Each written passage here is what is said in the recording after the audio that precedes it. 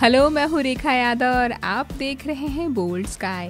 अमूमन 25 या 30 के बाद हर महिला को महीने में एक बार फेशियल तो ज़रूर करवाना चाहिए। इससे बॉडी काफ़ी रिलैक्स हो जाती है और चेहरे पर ग्लो आता है। लेकिन बहुत सारी महिलाएँ ऐसी होती हैं जो फेशियल करवा तो लेती हैं, लेकिन उसके बाद उनके चेहरे का ग्लो बड़ी तेज़ी से चला भी जाता है। और फिर वो सोचते रहती हैं कि उनके पैसे बेकार हो गए।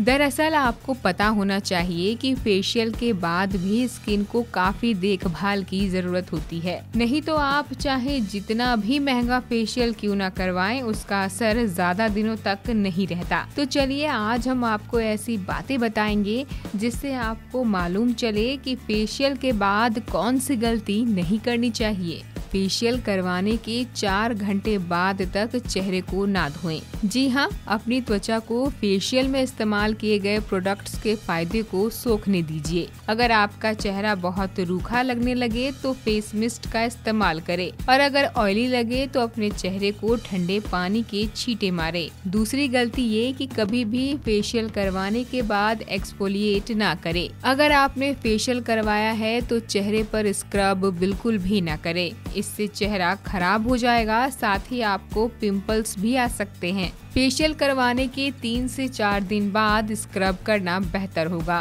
फेशियल करवाने के बाद स्किन पर फेशियल सीरम ना लगाएँ, नहीं तो स्किन सेंसिटिव हो जाएगी।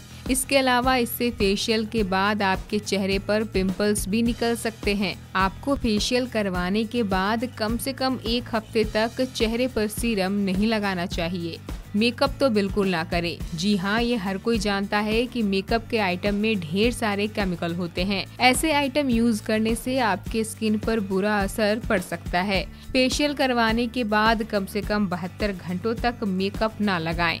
हाँ बहत्तर घंटे बीत जाने के बाद आप आराम से मेकअप कर सकती हैं। साथ ही चेहरे की मसाज भी बिल्कुल ना करें। टॉप के फेशियल एक्सपर्ट्स की माने तो फेशियल के बाद मसाज ट्रीटमेंट नहीं लेना चाहिए। इससे इन्फेक्शन हो सकता है और चेहरे पर दाने आ सकते हैं। फेशियल के एक हफ़्ते बाद ही मसाज करवाएँ। साथ ही मुहासे को ना फोड़े। फेशियल करवाने के बाद अगर आपको लगे कि चेहरे पर मुहासे निकल आए हैं और आप उन्हें दबाकर फोड़ना चाहती हैं तो ऐसा बिल्कुल भी ना करें। ऐसा करने से आपके चेहरे पर इन्फेक्शन फैल सकता है और साथ ही साथ चेहरे पर दाग भी हो सकते हैं। वहीं केमिकल पील ना करवाएँ। जी हाँ ये एक ऐसा ब्यूटी ट्रीटमेंट है जो काफ़ी सारी महिलाएँ करवाना पसंद करती हैं। हालाँकि अगर इसे आप फेशियल के तुरंत बाद करवाएँगी तो आप मुसीबत में पड़ सकती हैं। इससे कोलाजन ब्रेक डाउन हो जाएगा। इसे करवाने के लिए आपको फेशियल के बाद दो हफ्तों तक इंतज़ार करना पड़ेगा। साथ ही थ्रेडिंग भी ना करवाएँ। अगर आपको फेशियल और थ्रेडिंग दोनों करवाना है तो पहले थ्रेडिंग करवा लें और उसके बाद ही फेशियल करवाएँ।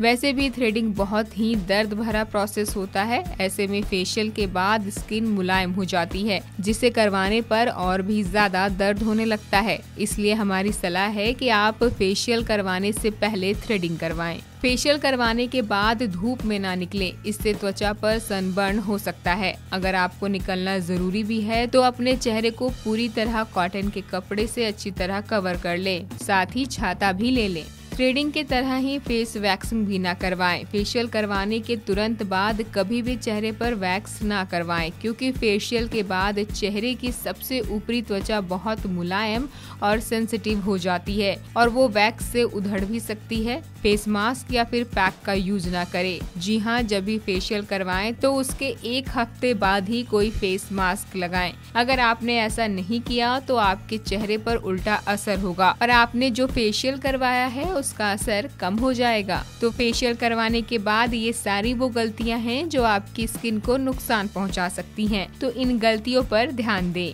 आई होप आपको ये इन्फॉर्मेशन अच्छी लगी होगी। ऐसे ही इन्फॉर्मेशन के लिए देखते रहिए बोल्ड स्काई और हमें लाइक और सब्सक्राइब ज़रूर करिए।